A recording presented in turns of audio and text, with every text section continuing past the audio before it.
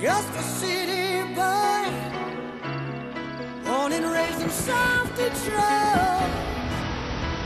He took the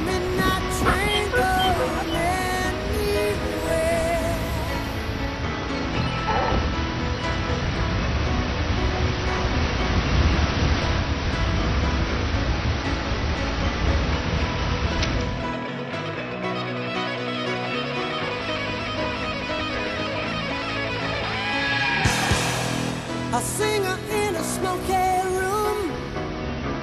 A smell of wine and cheap perfume.